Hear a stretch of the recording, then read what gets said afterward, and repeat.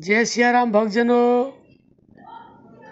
Comment आया है कि हम कौन सी सेवा करें, हम किस तरह से सेवा करें कि हमें सहज भक्ति प्राप्त हो। तो प्यारे भक्तों, आप ध्यान से सुने, हम आपको वह तरीका बताते हैं जो बहुत ही सहज है और आसान भी है। भगवान के गुणों का गुणगान करना चाहिए, लीला रूप नाम का ध्यान करना चाहिए, और धार्मिक बातें सुननी चाहिए, और अगर आपको धार्मिकता की अध्यात्म की बातें सुनानी आती हैं तो आपको सुनाना चाहिए। धार्मिक ग्रंथों को, पुस्तकों को पढ़ना चाहिए, और पढ़ाना भी चाहिए। भगवान के बारे में अगर आपको पूछना है और लोग जानते हैं तो पूछना चाहिए, और आप जानते हैं तो उनको बताना भी चाहिए। और प्राणी मात्र की तन मन धन से अपनी क्षमता के अनुसार सेवा करना चाहिए। यह ध्यान में रखते हुए कि ये सब परमात्मा स्वरूप हैं।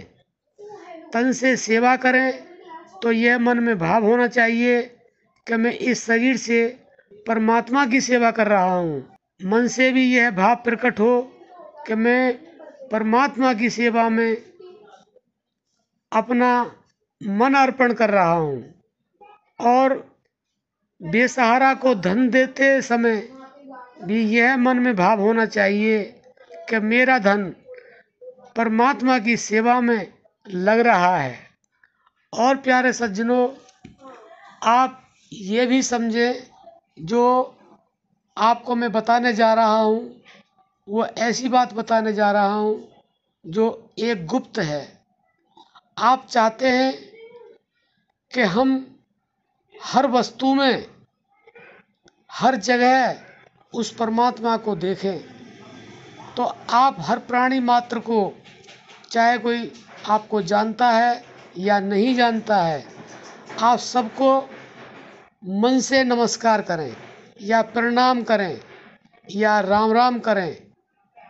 जो भी आप उनको बोलना चाहते हैं, आप उनको मन से जो है, नमस्कार, प्रणाम, राम राम, जय सिया राम, जो भी बोलना चाहते हैं, ज़रूर बोलें। सामने वाले को भी पता नहीं चलेगा और किसी को सुनाई भी नहीं देगा और आपके अंदर ऐसी भक्ति अपने आप समाहित हो जाएगी। जैसा आपने कभी सोचा भी नहीं होगा। इसको हम गुप्त ज्ञान भी कह सकते हैं, जो किसी को दिखाई भी नहीं देगा और आपकी भक्ति में वो पूर्णतया समर्पित हो जाएगा।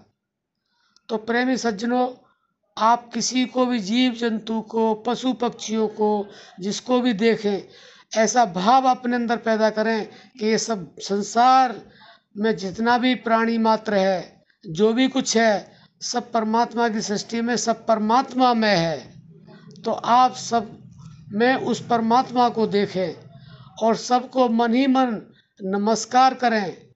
और ऐसा भाव जब आप अपने मन में बनाएँगे तो आपकी भक्ति बहुत ही जल्दी परपक्व हो जाएगी और आपको ऐसी आनंद की अनुभूति होने लगेगी जिसके बारे में वाणी बता नहीं सकती है, जिसमें आप स्वयं ही बता पाएँगे कि मुझे क्या अनुभव हो रहा है। और प्रेमी सज्जनों, आपको मैं ये भी बताना चाहता हूँ कि जैसे ही इस तरह का आप जो ना भाव अपने मन में ले आएँगे तो आपके बिगड़े हुए काम बनने शुरू हो जाएँगे। अगर आपकी नौकरी नहीं है तो आपको नौकरी मिल जाएगी। अगर आपके घर में कलेश है तो वो कलेश ख़त्म हो जाएगा। आपके पास गरीबी है तो अमीरी अपने आप हो जाएगी।